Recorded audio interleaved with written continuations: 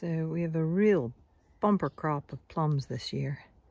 But you can see the difference. I don't know if you can. This one is not going to last. That is going to just come off like that, those two.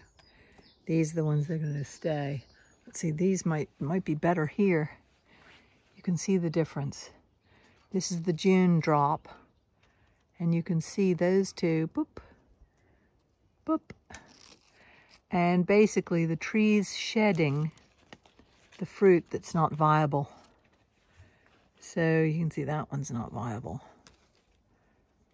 And then that one's not viable. And a lot of these will shed of their own volition. But they, uh, you can kind of see, it's the tiny squidgy ones that are the not viable ones. And a lot of them will fall all on their own. See, those are all good. Those are all fine.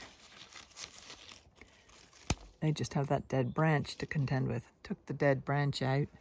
Now here you can see, here's some scab stuff. So that, the plum will hang on to that plum and it might get ripe, but you can see it's already got a split and it's leaking fluid. So that one's not going to last, but it's not ready to go yet. Anyway, this is the June drop that occurs with most fruit trees. Apples do it, plums do it, pears do it.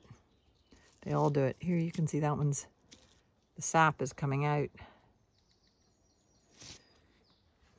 Down here, you can see those are all June drops. Just come off in your hand, just like that.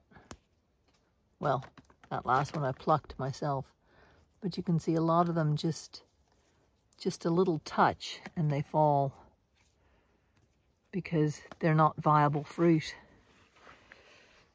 Anyway, there we go.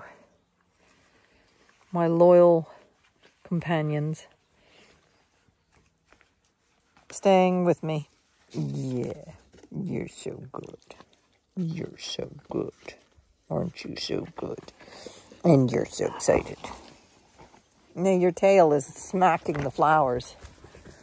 Look at the uh, the bells are all out, as I call them. They're coming out. Don't they look lovely? Looks lovely. Looking gorgeous.